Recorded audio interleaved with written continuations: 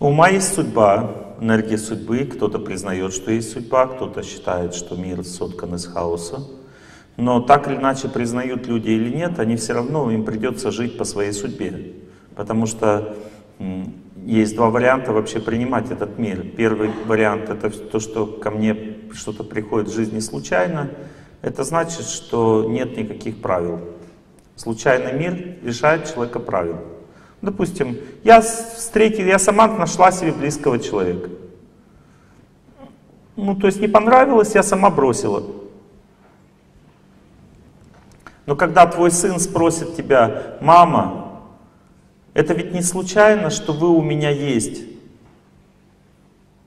Это же мой папа, правда? А ты моя мама, правда? И вы у меня одни. Маме такой, которая считает, что все случайно, уже трудно объяснить ребенку, потому что его правда лучше, чем ее, правильнее. Он-то ребенок, потому что больше любви к родителям, он чувствует, что все не случайно. Это мои близкие люди, я не хочу других, мне хочется только этих. Но если я не хочу принимать своего близкого человека, тогда эта философия случайности становится более выгодной. Я, то есть, я говорю, нет, нет, у тебя, да, у тебя все не случайно, а у меня с ним все случайно. Ну хорошо, если это так, тогда давайте объясним некоторые закономерности э, с позиции вот этих моей философии случайности. Закономерности заключаются в том, что иногда я хотела уйти, но не могла. Я вроде хотела уйти от близкого человека, но не могла. И некоторые люди считают, что он меня держит рядом с собой. Ну-ка попробуйте кого-нибудь задержать рядом с собой. Вот, допустим, вы можете меня сейчас задержать на лекции? Так раз, чтобы я не ушел, читал. Я такой был, ситуация сейчас в Питере, на предпоследней лекции, там просто так сделали, что я сел, и люди меня окружили. И уже когда час беседы прошел после лекции, я говорю, мне надо идти, но они меня не отпускают физически. Это понятно. Физически мы можем задерживать, но если физической задержки нет, мы не можем держать друг друга рядом друг с другом. Это держит Бог. Это Он находит нам друг друга, это Он нас соединяет, дает нам чувство друг другу и держит это чувство друг с другом. И если мы разрушаем отношения, мы идем против воли Бога, получается. Сразу возникает вопрос, а почему я должна жить и мучиться? Мучиться не надо. Если вам тяжело, можете жить чуть подальше друг от друга. Если легко, можно чуть поближе. Увеличивая дистанцию, можно таким образом избежать страданий. Но если человек, увеличивая дистанцию, считает, что теперь мы не вместе, то это уже неправильное мышление. Видите, я сейчас зарядил тему очень сложную. Я не буду дальше об этом говорить, это просто как рыбаки жмых бросают, Ничего нет, но интересно. Рыбка, она чувствует, что-то есть, и искать начинает. Вот, тема эта очень интересная, но она очень сложная, поэтому мы не будем сейчас ее дальше объяснять. Мы пойдем дальше по строению человека. Итак, есть ум. В центре ума, вот здесь вот, ум захватывает все пространство нашей жизни. В каждом органе, в каждом теле. У него есть глаза, уши, а, обоняние, осязание, то есть то есть у него есть, вернее, неправильно сказал, у него есть слух, зрение, обоняние, осязание, вкус ума. У ума есть чувства. Чувства не принадлежат грубому телу, не принадлежат уму. Я потом это докажу легко, чуть попозже. Вот есть органы чувства, есть чувства. Различайте уши и слух. Это разные вещи. Слух это тонкая вещь, а уши грубые. Итак, очень важно знать, что вот здесь вот в области сердца, не в сердце, как говорят, душа в сердце, потом в пятки ушла. Нет, в области сердца, на тонком, невидимом плане находится душа прямо в самом центре, вот здесь вот груди. И душа это я. Как говорят, у меня есть душа. Вот когда ты сказал «у меня», ты сказал про, про, про душу. Поэтому эта фраза, она немножко противоречивая. У меня есть душа. Когда ты сказал «у меня», ты как раз говорил про душу. То же самое, когда собака себя ощущает, она тоже точно так же, она именно душой себя ощущает, а не чем-то другим. То есть душа — это я. Ощущение себя — это и есть душа. И душа по факту имеет и ум, и эго, и разум. Все это энергия души. Итак, в области сердца вот здесь душа окружена определенным шаром энергетическим, психическим. И этот шар как раз является событиями, поступками всеми, которые э, мы совершали. Сразу возникает вопрос, а когда совершали? Мы возникли из ничего или мы были до этого? Если были до этого, значит мы как-то жили. Если жили, то как жили? Все эти вопросы задают все люди себе. И согласно ведической культуре, ведической традиции, когда ребенок рождается с ДЦП, это значит, он в прошлой жизни набедокурил, и поэтому он страдает сейчас в этой. Иначе непонятно, зачем, за что наказан он. Я-то понятно, за что наказано, я уже тут много чего сделала в этой жизни, а он-то за что он только родился и уже больной. За что он наказан? Сразу, видите, возникает чувство несправедливости, если не понять, что он до этого жил, этот ребенок, и он что-то делал. Если наблюдательный человек, то он может понять, что он точно жил, наблюдательный. И тем более, если он знает, как вообще меняется вот эта вот возможность жить. Ну то есть, допустим, Веды объясняют, что мужчина всегда привязан к женщине, поэтому в следующей жизни получает женское тело. Если мужчина ведет отреченную жизнь, он в следующей жизни получает мужское тело. Если женщина ведет эту самодостаточную отреченную жизнь, в следующей жизни женское тело. Если она постоянно думает о мужчинах, получает мужское. Возьмем маленького ребенка, девочку. Девочки бывают двух категорий. Одни ведут себя как мальчики, всех бьют, очень смелые. Но потом у них это проходит со временем. Потому что они сознают себя в этом теле более серьезно. А бывают девочки очень такие сразу хрупкие, нежные, никого не бьют, очень по-доброму себя ведут. Вы наблюдали такую картину, что девочки бывают двух категорий? Так? Но когда девочки вырастают, все одинаковыми становятся. Они все становятся добрыми, пугливыми, нежными, ласковыми. Так? Мальчики тоже в детстве. Одни мальчики очень пугливые, а другие очень храбрые. Те, которые храбрые, они мужское тело имели в прошлой жизни, а те, которые пугливые, женское. Потом все мальчики становятся мужественными, но, факт остается фактом, что в детстве ребенок, он меняется. И эта трансформация тела, тонкого или психического тела, или тела ума идет всю жизнь. Вот если взять девушку юную, она очень хрупкая, нежная, ласковая. Но чем больше она имеет отношения с мужчинами, с мужем она живет всю жизнь, то она перенимает его качество. И к старости э, женщина, девочка не такая уже хрупкая, нежная и ласковая. Она такая, хм? она решительная, она готова всех это покоцать. Вот теперь мужчина в юности, он храбрый, смелый, там такой волевой, да? Но дедушка он такой, добрый, ласковый, смиренный. Что он перенял качество от женщины. Он уже как бы с ней жил всю жизнь, он перенял от нее качество, она от него, они поменялись местами. В следующей жизни он, у него тонкое тело уже готово быть женщиной в старости. И поэтому он ведет себя очень скромно, нежно, ласково. Но мы знаем, допустим, аскетов. Есть мужчины-аскеты, они так и остаются до старости очень сильными, строгими. У них мужское начало очень выражено. И есть аскетичные женщины тоже к старости, они очень смиренные, ласковые, нежные. То есть ничего не меняется.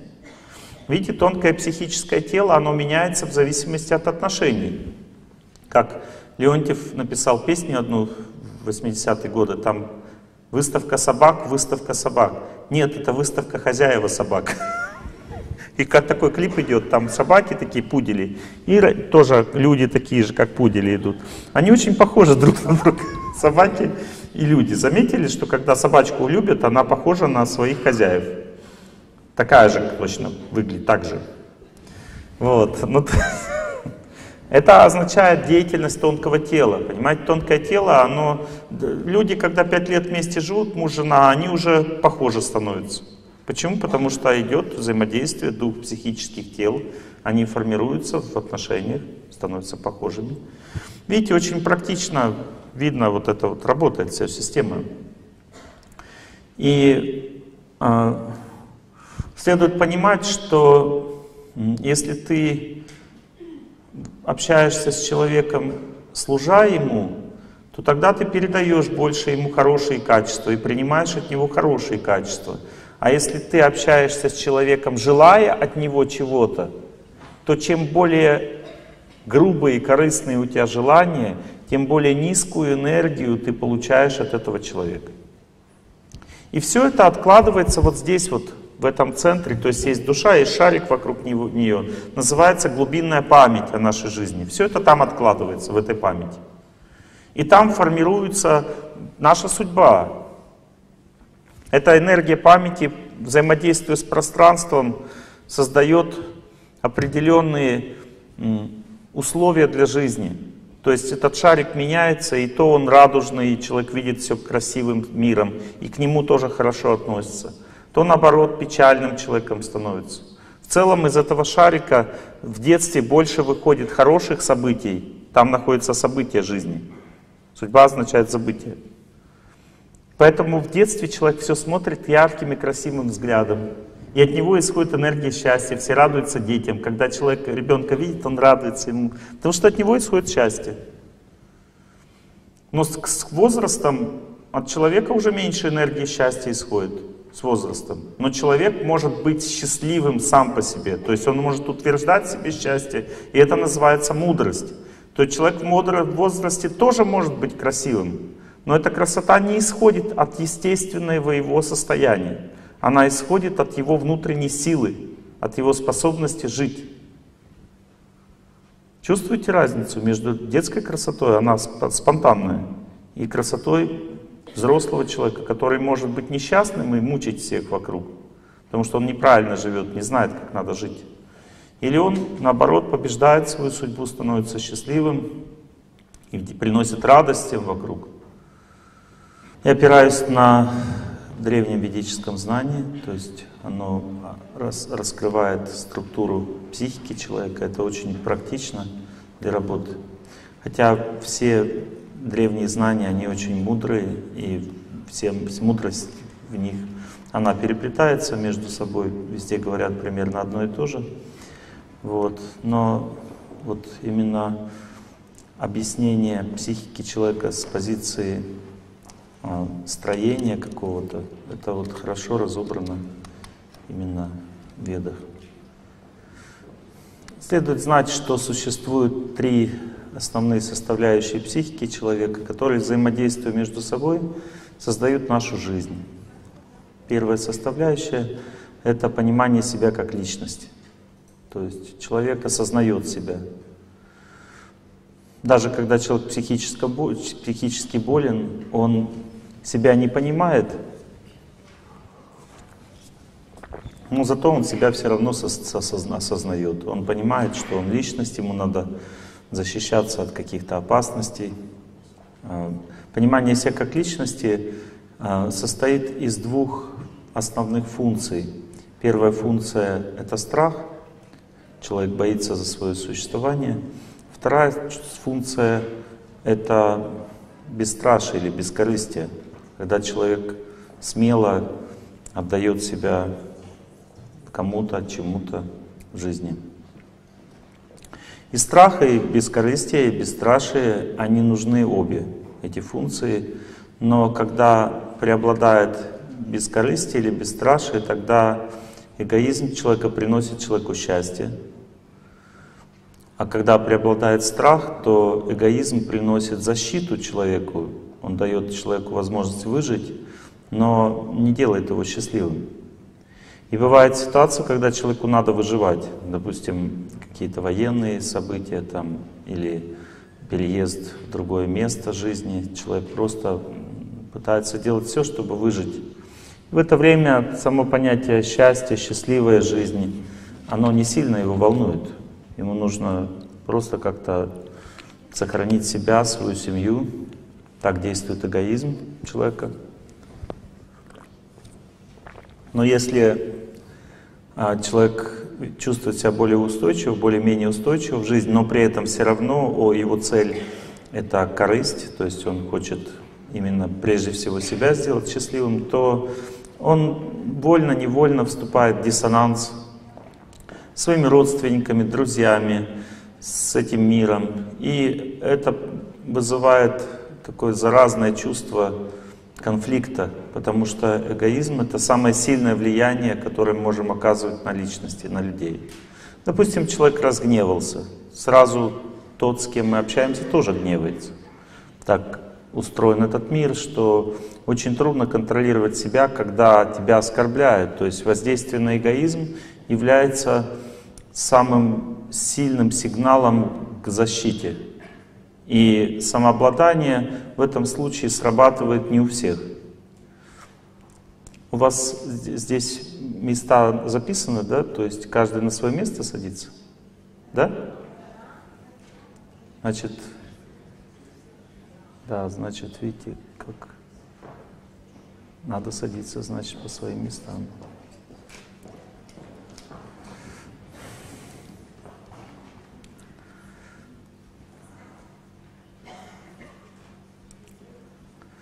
То есть следует просто понять сейчас на лекции, что самое сильное влияние на человека оказывает чувство собственного достоинства или эгоизм. Если у мужа и жены чувство собственного достоинства не работают одинаково, одинаково сильно, одинаково достойно, то тогда один начинает вести себя бесцеремонно, а второй унижен. Понимаете, да? Ну, то есть чувство собственного достоинства у одного человека не чувствует себя достойным, а у другого слишком сильно чувствует себя достойным. И всегда страх или желание самосохранения или эгоизм, он заставляет человека принимать более сильное положение даже по отношению к близким людям. Часто мы из страха, что мной будут манипулировать, что меня задавят как-то в отношениях, Пытаемся э, быть сильнее. И это приводит к разрушению семьи. То есть, видите, понимание себя как личности начинается с этого самого простого, это эгоизм человека, чувство собственного достоинства. Он, это чувство работает или в страхе, или в знании. Когда оно работает в знании, человек становится добрым, хорошим, культурным, воспитанным. То есть он верит, во что-то верит. У него эгоизм бескорыстен из-за того, что он знает, что так лучше, что у него есть какая-то вера во что-то светлое. Ну, возьмем, допустим, маленького грудного ребенка. У него также есть все три функции а, психики, эгоизм, ум и разум. Все это есть, но у него эгоизм у маленького ребенка работает только основываясь на страхе. Поэтому у него нет никакого здравого смысла в том, что он делает. Допустим, мама никуда не ушла далеко, она находится рядом, но чуть-чуть скрылась из глаз, и он начинает кричать. И кричать очень жестоко, то есть он не оставляет шансов на какой-то выбор. То есть его эгоизм, он очень включается очень бескомпромиссно, сильно, и сигнал тревоги такой.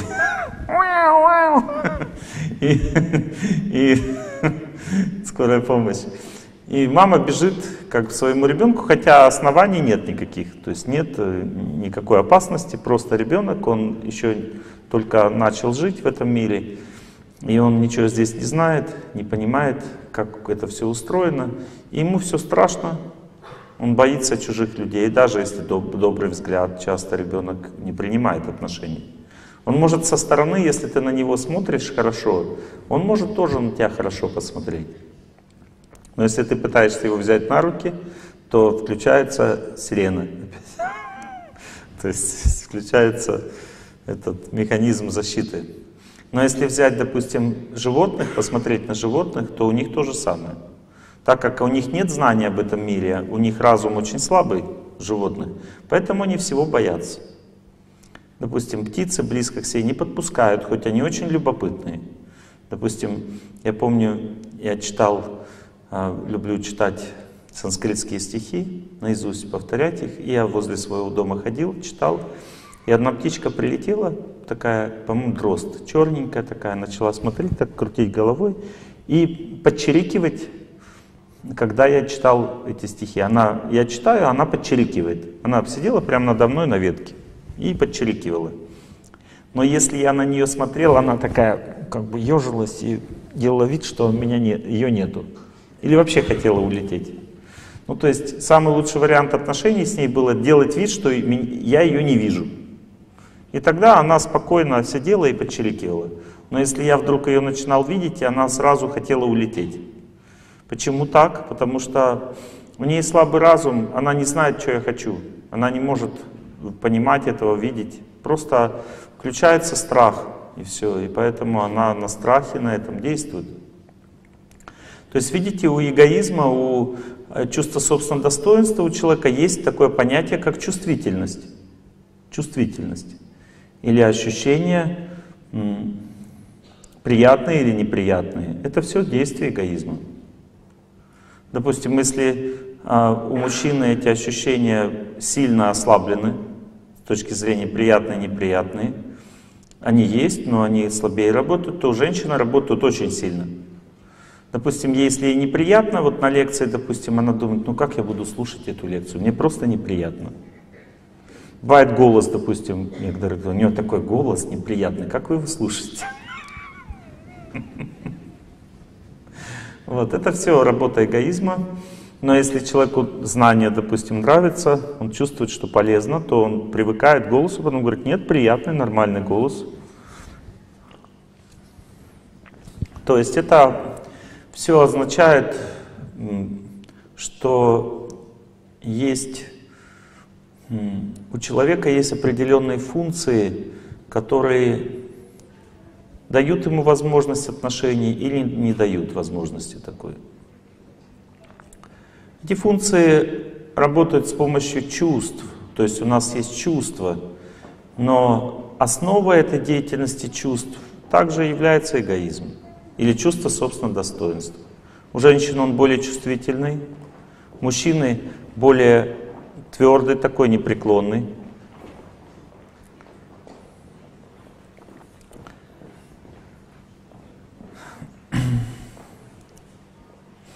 Мы еще поговорим на эту тему, но единственное хотел бы сказать, что уважение к самому себе основано всегда только на знании, как правильно жить, и на включении истинного эгоизма – Истинный эгоизм и ложный эгоизм. Истинный эгоизм означает, что я меньше боюсь и больше забочусь, а ложный эгоизм означает, я больше боюсь и меньше забочусь. Когда человек служит своей жизнью другим людям смело, не боится от того, что его ранит непониманием или корыстью, или неуважением, то в этом случае у него работает истинный эгоизм он основан на знании. Но если человек, и человек чувствует себя достойно в это время, он достойный человек. Бывает, человек пытается чувствовать себя достойно, когда у него ложный эгоизм, основа его жизни. И такой человек является отрицательным героем. Допустим, взять доктора Ипполит и Бармалей. Бармалей, он всегда злой. Почему? Потому что у него страх, он как выживает. Он пытается выживать. А доктор Айболит, он пытается всем помогать. Или там, допустим, давайте жить дружно, там вот этот вот кот и эти мышки. Ну, то есть мышки, они на страхе, пытаются агрессивно себя ведут. Вот. А кот, он основывается на знании.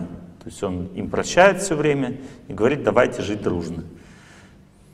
Понимаете, да? Или, допустим, почтальон Печкин. То есть он, он как бы у него очень однотипное мышление, то есть надо вот так, все, у него нет вариантов. Он предлагает какие-то варианты, посылку забрать, вариантов нет, потому что мышление основано на страхе, оно не основано на знании. И так далее. Ну то есть идея заключается в том, что когда человек в целом не настроился правильно, отношения с ним строить практически невозможно. То есть есть три типа настроения людей. Первый тип настроения — это невежественное настроение, когда человек очень сильно замкнут на себе, и он настроен, чтобы все было так, как он хочет. Эти люди страдают очень сильно, хоть часто и думают, что они счастливы. Бандитский мир основан основой как бы вот этого поведения «я прав, потому что я прав» является криминальный мир. Вот классический пример. Там этот эгоизм, вид эгоизма очень сильно утвержден. Ну, там, и люди, они как бы, достоинство для них это подавить волю другого, показать свою силу. Вот. А иногда этот вид достоинства, он нужен для жизни, для победы. Например, на войне человек должен показать свою храбрость, свой ну, как бы его чувство собственного достоинства побеждает, он ломает противника, его чувство собственного достоинства, храбрость. В этом случае этот вид эгоизма, а, направленный на, как бы, на утверждение себя и подавление другого, является священным даже в каких-то случаях. И все равно для того, чтобы он был священным, человек не мотивирует это тем, что я хочу тебе показать, что я лучше. А он мотивирует это тем, что он сражается за Родину, что он хочет, чтобы близкие все были счастливы, чтобы страна была счастливой. То есть он мотивирует это высокими идеями. Такие, другими словами, его желание подавить не основывается опять на корысти, даже в этом случае. Видите, хотя и работает на подавление. Таким образом, бывает также в отношениях с детьми. Допустим, я очень твердо себя веду. Твердая жизненная позиция сейчас в современном мире все меньше признается как любовь. Ну, то есть человек, допустим, сильную позицию имеет, его называют диктатором, если он управляет. Но если он при этом это мотивирует высшими целями какими-то, и он власть устанавливает для порядка, то разве это не является самой благородной идеей и святой? Видите, чувство собственного достоинства у разных людей может быть по-разному устроено с целью принести счастье этому миру. Допустим, у родителей должно быть строгое чувство собственного достоинства по отношению к детям. Сейчас в современной культуре считается, что перед детьми надо прыгать на задних лапках. Но тогда мы видим, что опять два эгоизма, они неправильно стоят. Вот как вы думаете, как должны ну, стоять два эгоизма или чувство собственного достоинства у ребенка и у отца или у матери? Где у кого должно быть больше достоинства? Конечно, если родители унижены перед детьми, тогда что происходит? Ребенок и так разума у него нет, а он начинает считать себя лучше родителей только потому, что они сами ему это позволили сделать. Теперь у кого больше жизненных сил, у родителей или у детей? у детей. Это значит, не позволить им обнаглеть очень сложно. Нужна реальная стойкость, потому что у детей много энергии жизненной. У них больше сил отстаивать свои права в отношениях. Теперь у кого больше сил отстаивать свои права в отношениях? У мужчин или у женщин?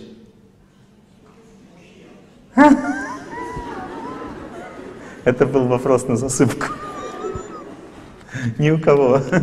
Все зависит от отношений. Если отношения более близкие, то у женщин больше сил. Если отношения более формальные, то у мужчин больше сил.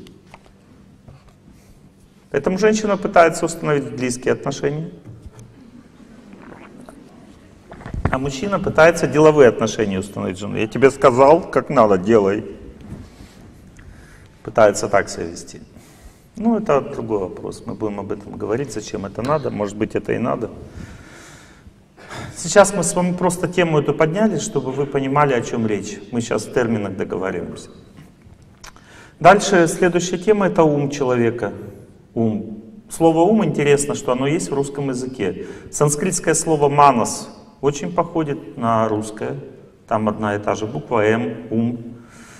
Вот. И смысл этого слова заключается в том, что все знают, что мы умом думаем, в уме думаем, что там находится настроение. Практически никто не знает, в чем разница между умом и разумом. Только некоторые понимают, что есть разница между умный и разумный. Что лучше, быть умным или разумным? Разумным. Видите, вы знаете, разница есть. Итак, ну, мы сейчас раскроем эти, эти термины. Итак, у человека есть ум, он является основой жизни. Там находится чувство у нас внутри, мы чувствуем этот мир через ум. Ум — это система разных психических каналов, которая обеспечивает человеку возможность функционировать, жить. Потому что каждый орган, каждая клеточка питается энергией счастья. Самое главное, что человеку нужно, это счастье.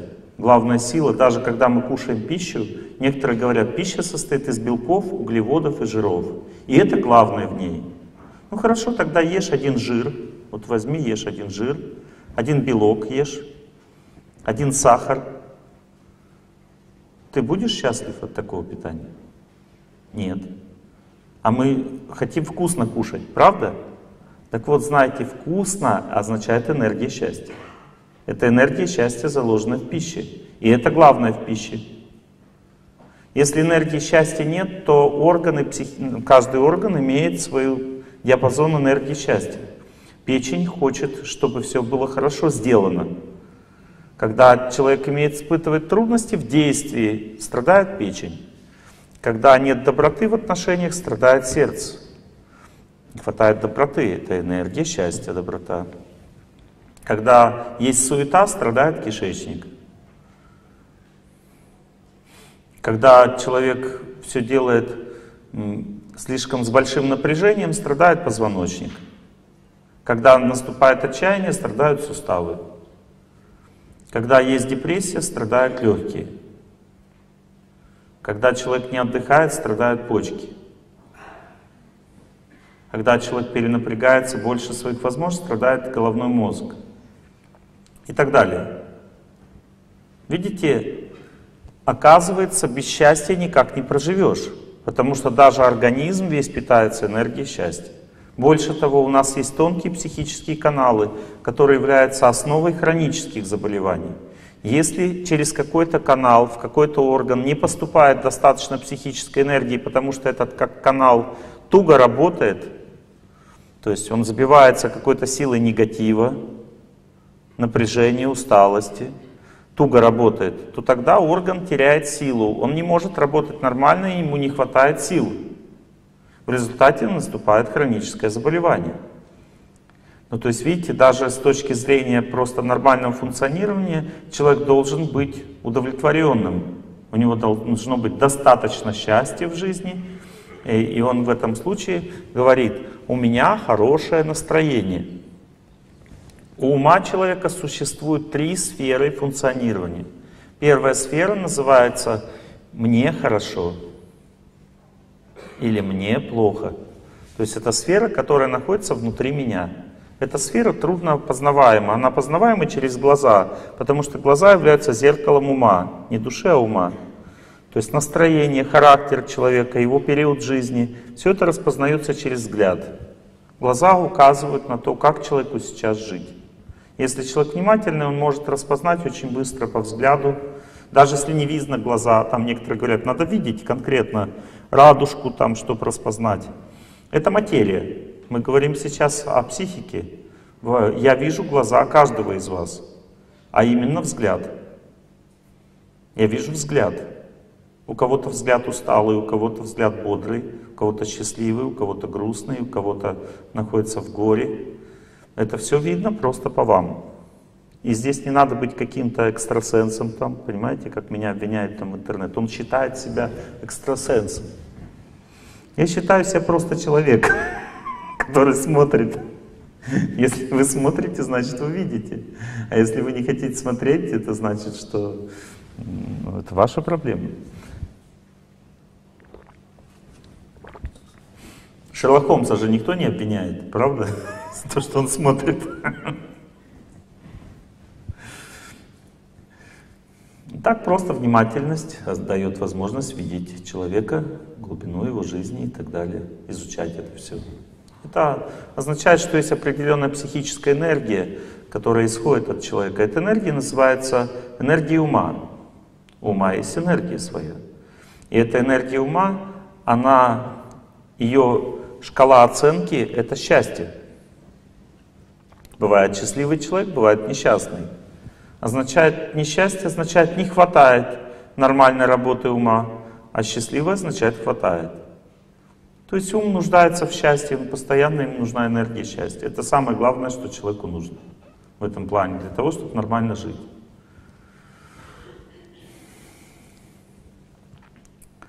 Ума есть пять чувств познания.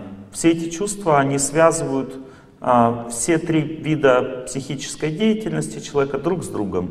И прежде чем об этих связях говорить, я вам расскажу о разуме. Да, еще немножко об уме. В уме находится судьба человека. То есть наша судьба, то есть что это такое? Это когда вдруг неожиданно стало тяжелее жить. Или вдруг стало легче жить само по себе. Когда человек живет достаточно долго, он понимает, что такие периоды есть. То есть я жил-жил нормально, потом раз, ни с того ни с сего, мне тяжелее стало. Или в отношениях, или в здоровье. То есть есть, есть э, три сферы как бы, отношений. Ну, это немножко другое, чтобы вас не путать. Давайте я закончу про три сферы ума. Первая сфера — это внутри себя, да? Ну, то есть это означает взаимоотношения с самим собой. То, о чем мы заявили, что вначале будем говорить. Я, мне хорошо, я чувствую себя хорошо. Вторая сфера деятельности ума, там тоже ум функционирует. Это взаимоотношения меня с кем-то. Вторая сфера моей жизни. Я с кем-то. Это моя жизнь. Некоторые говорят, это тебя не касается, ты внутри себя только. Отстранись, не обращай ни на что внимания. Но если тебе э, в попу суют иголочку, и говорят, не обращай внимания, отстранись. Ты не можешь отстраниться, потому что тебе больно. Как бы, ну ты отстранись. Это я критикую некоторых психологов, которые такие, такое мышление имеют. Они говорят, ну ты не обращай внимания. И все, и тебе будет хорошо, не обращай внимания просто. Ну давайте ему засунем иголочку в попу, и пускай он не обращает внимания. Посмотрим, как это работает. Боль, она не только физическую природу имеет, она имеет также психическую природу. Есть боль в чувствах, есть боль в уме, есть боль в разуме, есть боль телесная. То есть есть разные виды боли у человека, и боль всегда означает как раз вот эта сфера между мною и тобою. Понимаете, вот эта сфера, там находится боль между мной и тобою. Но самое удивительное заключается в том, что, о чем многие люди не догадываются, что моя сфера моей жизни находится также внутри другого человека. И там все работает интересным образом. Или он верен мне, этот человек, или нет. Ну то есть он готов принимать меня и мои взгляды или нет. Причем некоторые люди говорят, я принимаю тебя, но твои взгляды нет. Я тебя принимаю, твою веру не принимаю. Это нечестно. Или ты меня принимаешь полностью, или вообще не принимаешь ты. Бывает, человек говорит, я тебя принимаю, но твои поступки не принимаю. Это честно. Вот это и есть самое главное, правильная честность. Но если человек даже взгляды человека не хочет принимать, то тогда в чем принятие? Потому что взгляды человека являются самой большой его ценностью в жизни.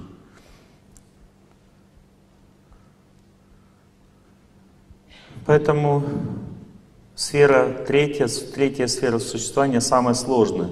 Нет гарантии, что близкий человек, который поклялся, что он будет с тобой всю жизнь, что он будет тебя принимать всю жизнь. Может так случиться, что он перестал понимать тебя, твои взгляды, твое понимание жизни, потому что оно меняется в течение жизни. И если оно меняется не синхронно, это очень опасно. Поэтому, если вы чувствуете, что вы меняете свои взгляды, вы, пожалуйста, объясняйте это своим близким. Иначе может так случиться, что ваши взгляды будут не поняты, и в результате может разрушиться семья. Потому что все начинается как раз с этой третьей сферы жизни. Один не понимает другого. Видите, даже если близкий человек уже далеко где-то, то есть его куда-то занесло, надо все равно улыбаться, иначе нет шансов вместе жить. Ну, то есть я улыбаюсь тебе, означает, я принимаю тебя. То есть я готов дальше с тобой жить. Ты человек, у тебя все меняется в жизни. Ничего страшного. Я принимаю, я улыбаюсь.